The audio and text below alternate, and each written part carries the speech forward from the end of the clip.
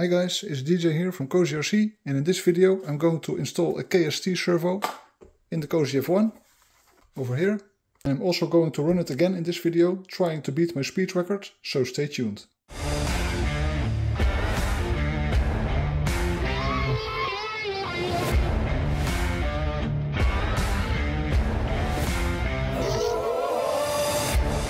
KST servos sent me a sample for testing this is one of their lower budget servos. It is digital. The operating voltage is from 4.8 to 8.4 volts. It is also a low profile servo.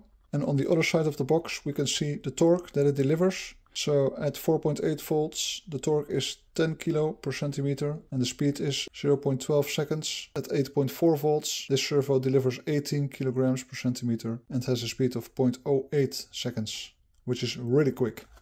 So let's open the box and then let's also compare it with the current servo. This is a old digital servo from KO Propo.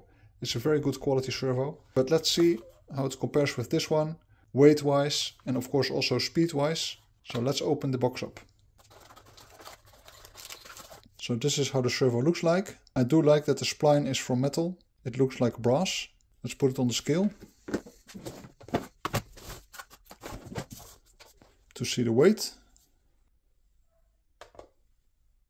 45 grams. Alright, this is the servo that came out of the Cozy F1. It's a KO Propo PS2173 FAT power servo. I used this one in my 1/8 scale on-road nitro car and it performed really well. And finally I put it in the Cozy F1 for many years already.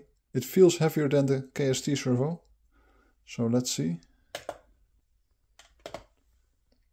55 grams. Alright, and the KST servo is 45 grams. So it's a 10 grams weight difference. When we compare the size, it's a pretty big difference. Alright, now let's check the speed. First test, KST servo. Looks pretty good. So I had to get a different lever because the red lever didn't fit the KO Propo servo. But here we go. It's difficult to see the speed difference by the eye, they look very similar. Power-wise, 10 kilograms per centimeter will be plenty for the KST, because this is just a small outboard. So let's install the KST servo, and then the next test will be running the Cozy F1 with this servo.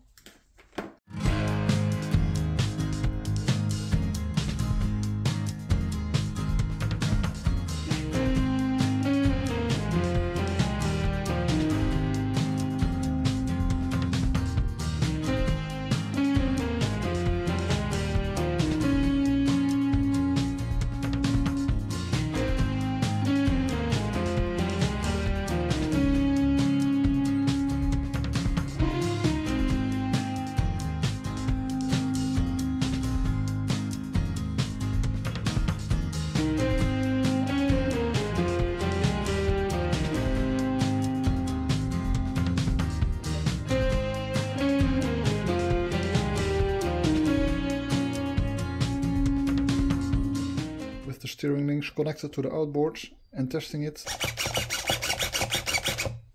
This KST servo seems faster than the KO Propo. Sweet. Alright, we are at the pond. I zeroed the GPS. I will connect the 4S LiPo battery. I'm going to run the aluminium prop. Let's see. There we go.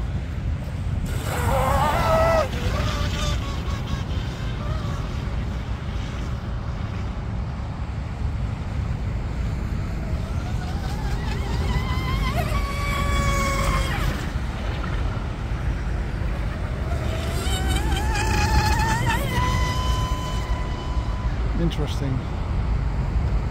I'm not sure if this prop is faster.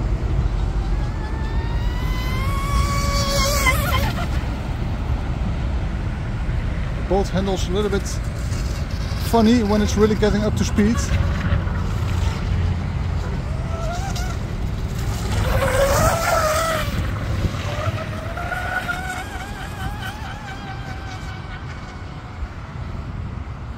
Let's do another sprint.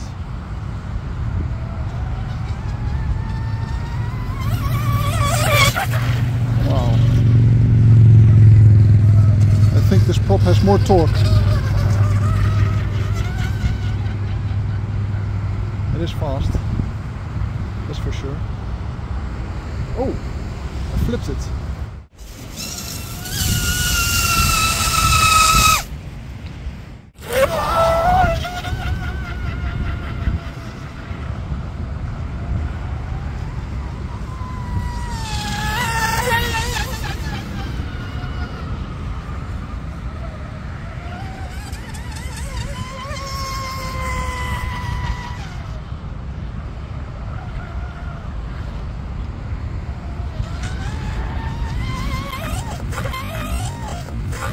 Ooh, just saved it.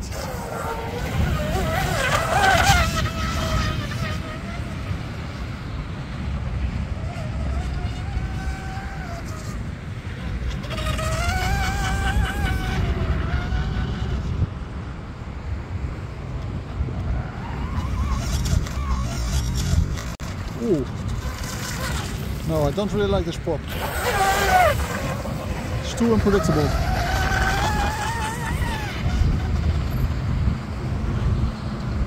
Oh, the boat stopped again. Not sure what's wrong. Maybe the flex shaft broke. Right, I got the boat recovered. It was quite a hassle to take it out of the water, but I got it back. Let's see the speed.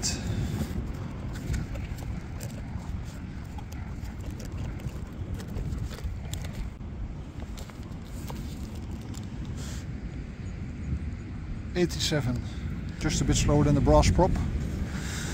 Yeah, I didn't really like this aluminium prop. The F1 got a funny behavior with this, with this prop, so I don't know why the boat stopped working, by the way. The flex shaft is still in one piece, so probably it's the ESC again, but let's see in the workshop. During the last run, I totally forgot to tell anything about the KST servo. Um, I was just too focused on getting a new speed record and keeping the boat on the water. But I got to say, this servo works great Basically, I already had a very good servo in here, a KO Propo digital servo, and this is just a great replacement. If you think that this servo is about 25 to 30 dollar or 25 to 30 euros, it has a great value. I didn't really notice any difference in the steering. Maybe it was a little bit more direct, but as I said, it was already great. So yeah, pretty happy with this servo. The additional benefit is that it is a low profile servo. I got my cooling lines and also the motor wires running from here basically to here. And this low profile servo gives me some more space underneath. In one of my next videos I'm going to rebuild my Wild Thing. If you watched my videos for a longer time, you must have seen it. Last season I ran it a lot of times. This is still the fastest boat I got. But yeah, it got totally destroyed. But I'm going to rebuild it with a carbon fiber inlay and it will be back in the water, hopefully this season. So stay tuned and I hope to see you next time. Bye!